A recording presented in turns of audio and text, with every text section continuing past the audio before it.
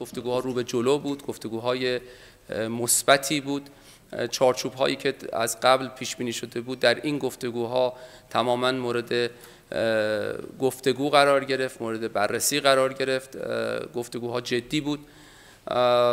می توان گفتش که اگر این گفتگوها به سطح سیاسی درجه یک ارتقا پیدا کنه می توان انتظار داشت که به سرعت شاهد پیشرفت های جدی در حوزه های مختلف مورد گفتگو در چارچوب این در چارچوب این مذاکرات باشیم. بفرمایید.